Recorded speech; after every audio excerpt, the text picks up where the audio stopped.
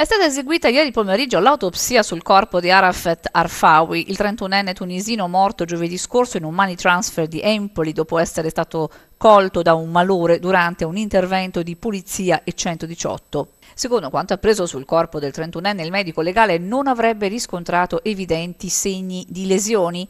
Una relazione preliminare del medico legale dovrebbe essere consegnata in procura venerdì prossimo. Per quella finale il tempo previsto è di 60 giorni. Previsti anche esami tossicologici per accertare se l'uomo, che era in forte stato di agitazione al momento del controllo, avesse assunto sostanze che possono avergli provocato uno stato di alterazione.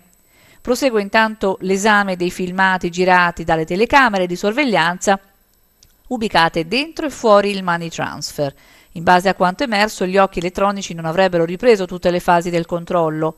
Al momento il fascicolo per omicidio colposo aperto dalla Procura di Firenze resta a carico di ignoti.